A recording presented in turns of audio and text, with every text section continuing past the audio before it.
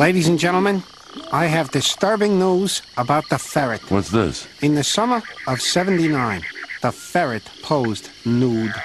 Oh, that's revolting. The photos were tasteless. Oh, They were vulgar. oh, that's grotesque. And this one was just obscene. Hey, I know her. Eee. And I would like to ask for his resignation from this proud company called Budweiser. Now, what was he Yeah, thinking? there's one with a guinea pig that would make you pass out.